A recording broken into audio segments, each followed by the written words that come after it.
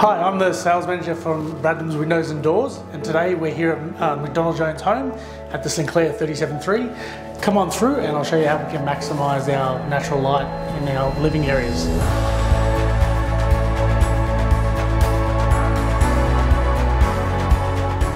Here we have our large silicon joint 180 degree uh, fixed window.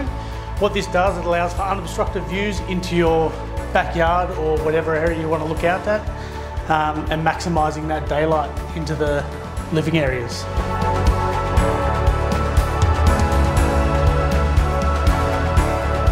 So in the bedroom we have our signature awning window with an awning and a fixed panel.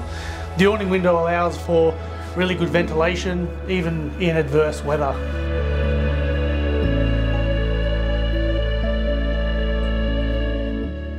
This was a McDonald Jones home, St Clair 37.3. I'm David from Bradnams. Thank you for looking at our Bradnams windows and doors with me.